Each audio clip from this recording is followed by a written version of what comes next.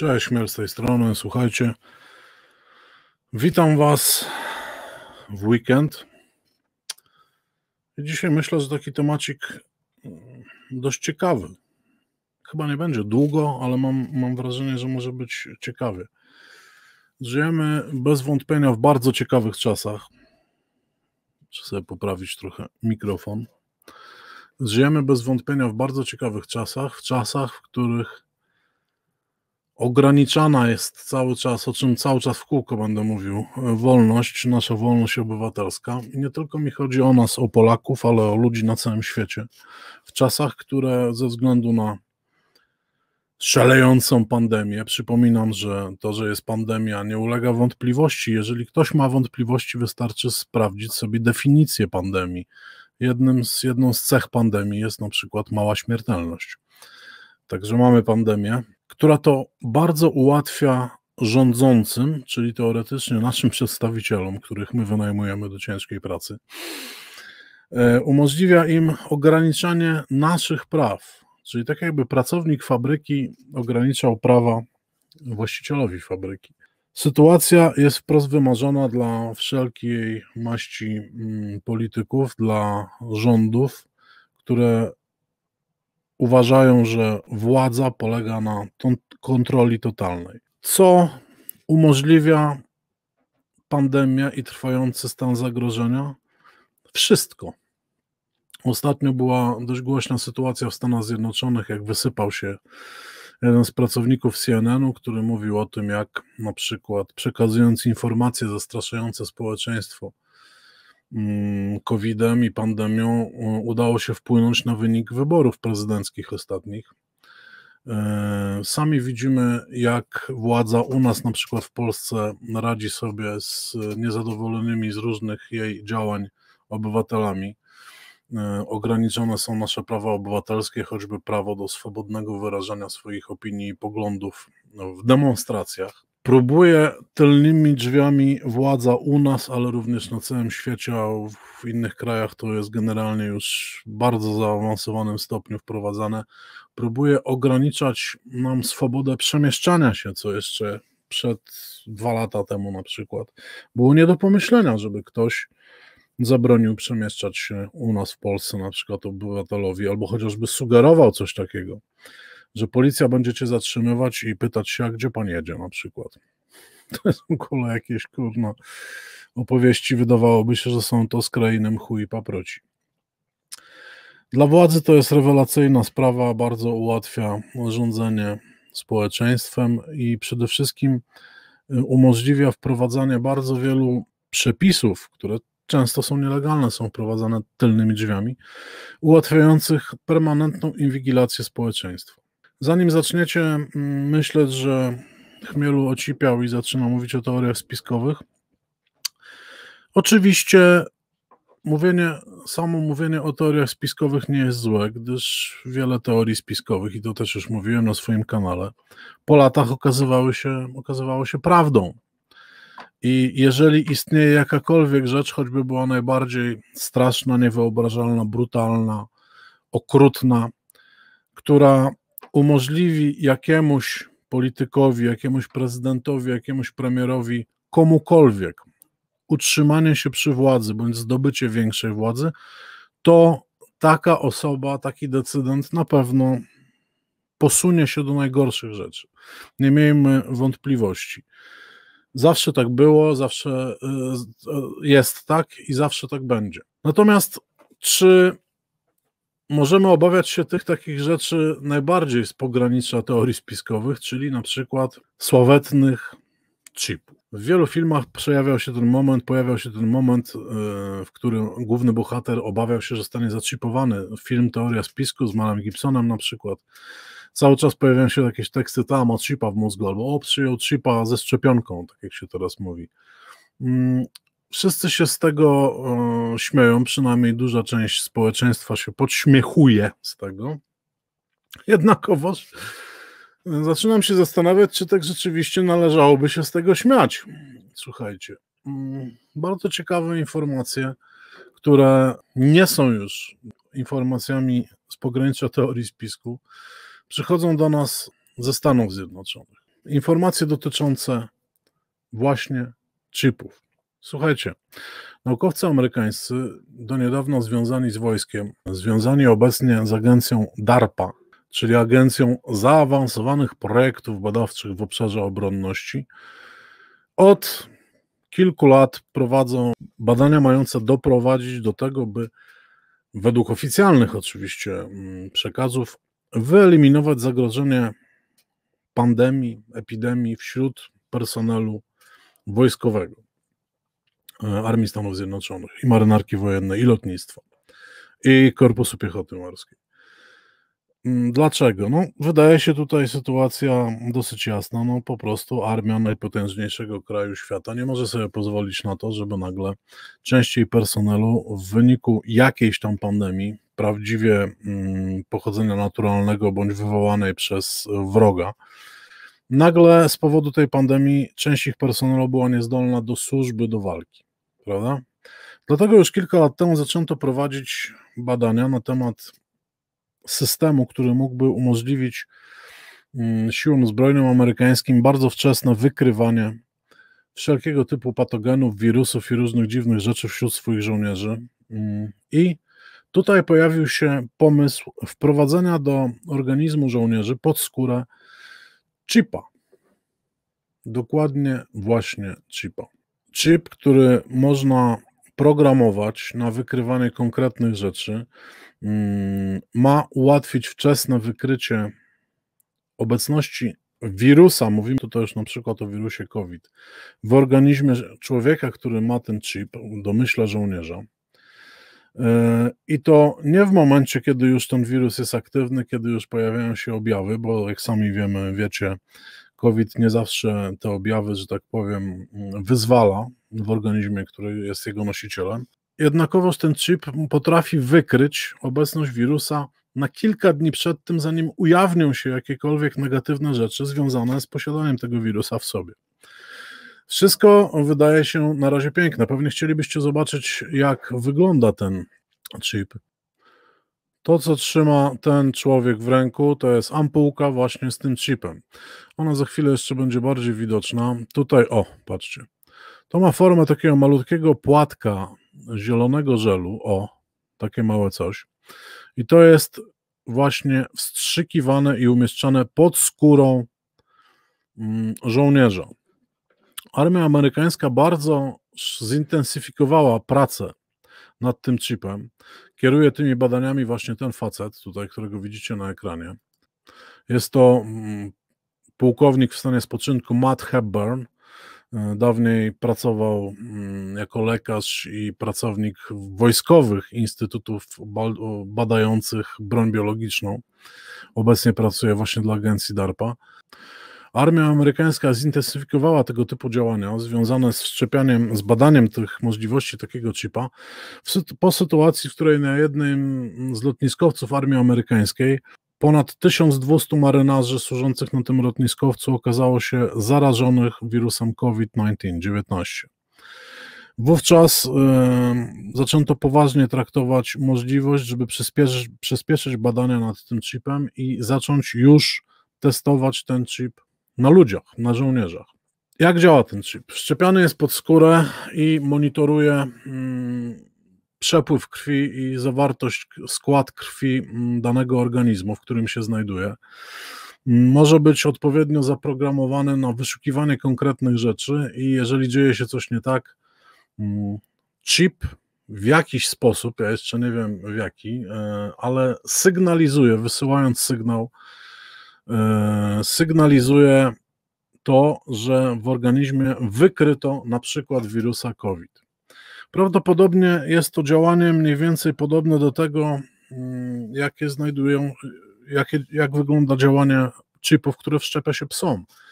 No słuchajcie, chipy są, prawda? Psom się wszczepia chipy, których szczytanie mm, wymaga skanera, który skanuje mniej więcej z odległości 10 do 15 centymetrów ten chip, który jest w psie. No jeżeli coś takiego ma mm, byle schronisko z psami, czy byle weterynarz, no to na pewno takie skanery i takie chipy e, lepsze i bardziej zaawansowane ma DARPA bądź amerykańska armia, prawda? Na tej zasadzie tak to wygląda.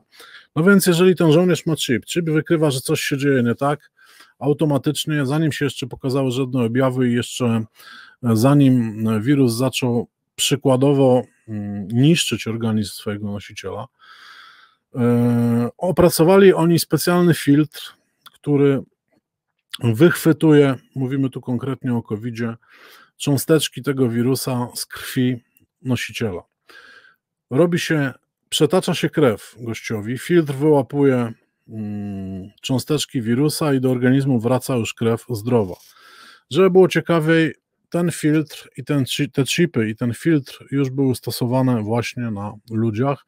Między innymi uratowano w ten sposób, tak jak w tym programie, którego tu widzieliście fragment, oglądałem, Uratowano w ten sposób żonę jednego z oficerów mm, armii amerykańskiej, która zgodziła się poddać tym testom. No po prostu bez tej transfuzji i bez działania tego filtra mm, kobieta by zmarła, udało się ją uratować. Wszystko to wygląda pięknie, szlachetnie. Armia amerykańska planuje takie chipy w przyszłości wszczepiać swoim żołnierzom, członkom sił zbrojnych. No ale chciałoby się powiedzieć, no i co potem? żeby te chipy miały wpływ na tak zwane globalne bezpieczeństwo, tak jak oni chcą, wszyscy rządzący, żebyśmy rozumieli kwestię bezpieczeństwa, czyli żeby na nasze bezpieczeństwo, no to mm, powinni takimi chipami zostać zaczipowani mm, wszyscy. Tak twierdzą niektóre czynniki w Pentagonie, że dobrze by było oraz niektórzy mm, ludzie, którzy w zaangażowany bardzo sposób, bez względu na koszty, walczą z wirusem, dobrze by było, żeby wszyscy ludzie byli zaczipowani takimi chipami, które odpowiednio wcześniej wykryją wirusa. Tylko teraz trzeba pamiętać, że ktoś te chipy będzie programował, mm, ktoś te chipy będzie nadzorował, Wreszcie w jakiś sposób trzeba będzie szczytywać te chipy. Oficjalnie mówi się, no ale te chipy nie wysyłają sygnałów, tak jak GPS, telefon czy coś, że można zlokalizować daną osobę. Do tego trzeba specjalny, specjalny czytnik tych chipów, ten skaner, tak jak właśnie do wykrywania chipów u psów.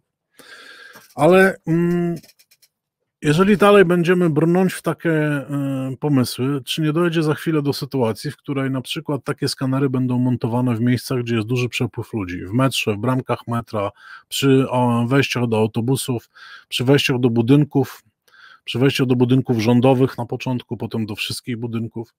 Skoro w tej chwili normalne ręczne skanery mogą skanować osobę z takiej odległości, no to czy takie skanery bardziej zaawansowane, którymi na pewno dysponują, siły zbrojne bądź rządy różnych państw mm, nie mogą skanować tych chipów z większych odległości.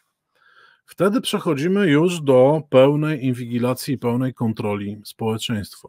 Władza wtedy wie, gdzie się znajdujesz, jaki jest Twój stan zdrowia. Nie wiadomo, w jaki sposób te chipy będą zaprogramowane. Czy one mogą tylko posiadać zdolności szczytywania danych z krwi, czy ewentualnie mogą próbować działać w drugą stronę. Nie znam się na tym. Ale zaczynamy tutaj wchodzić w klimaty właśnie z cyklu filmów, mm, thrillerów, science fiction i tego typu rzeczy. I zaczyna to być bardzo niepokojące, że ja się w ogóle w, ten, w tym zajmuję tutaj na swoim kanale. Ale takie prace już trwają. Problem właśnie polega na tym, że są ludzie w Pentagonie i zapewne w, systemach obrony wielu, wielu państw, którzy uważają, że wszyscy obywatele powinni być zaczipowani tego rodzaju chipami. Nie mówię konkretnymi tymi, konkretnie tymi, ale tego rodzaju chipami. Dla własnego bezpieczeństwa to zróbcie. To zaczyna przypominać rzeczywiście już przyszłość z filmów, bądź przyszłość, która była opisywana w wielu niepokojących książkach. Mm, takiej inwigilacji nie było nawet u Orwella, słuchajcie.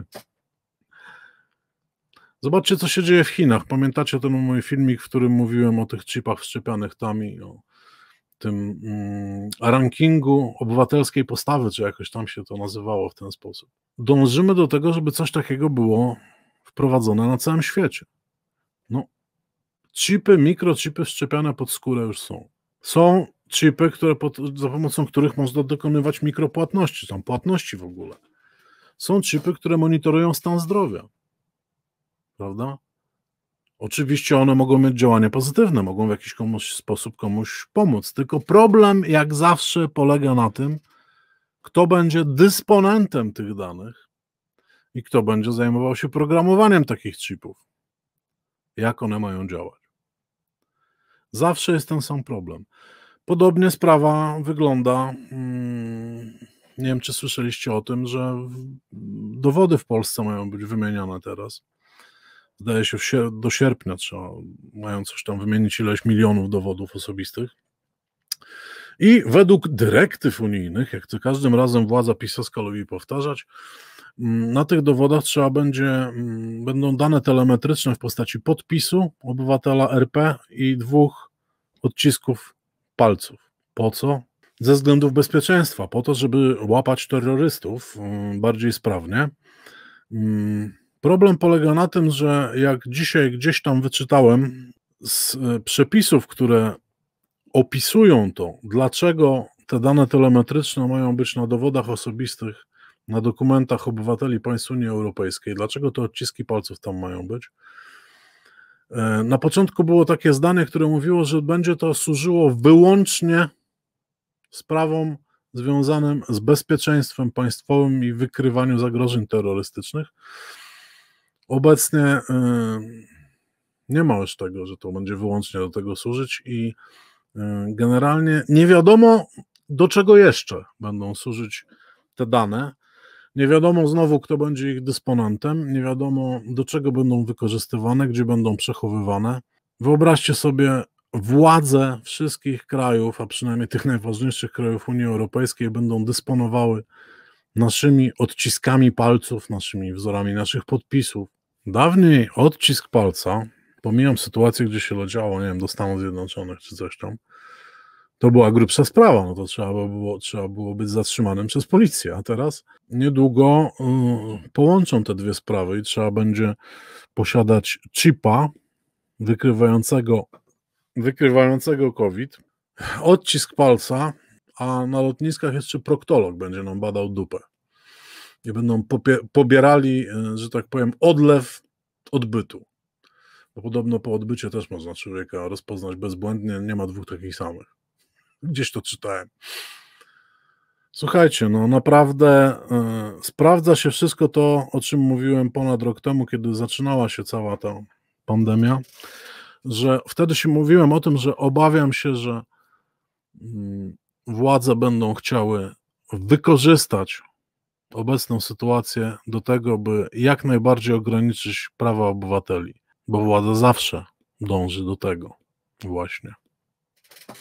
Świadomi, myślący, samodzielni, samorządni obywatele władzy przeszkadzają. Musimy sobie z tego zdawać sprawę. Czasy ciekawe, ale coraz mniej mi się podobają. Ciekaw jestem, jakie jest Wasze zdanie na temat możliwości, jakie daje taki chip.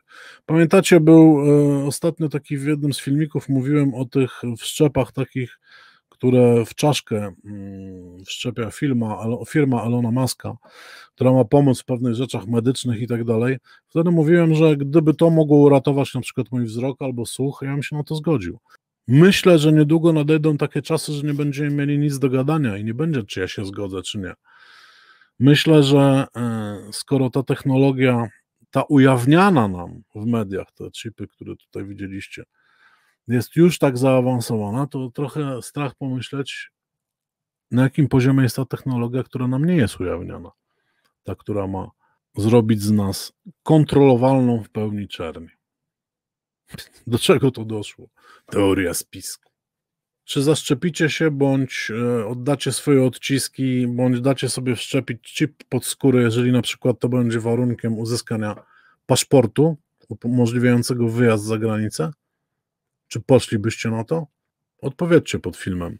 Pod filmem możecie również zobaczyć przycisk Wesprzyj, dzięki któremu możecie wesprzeć rozwój mojego kanału, do czego Was gorąco zachęcam. Trzymajcie się, na razie, cześć.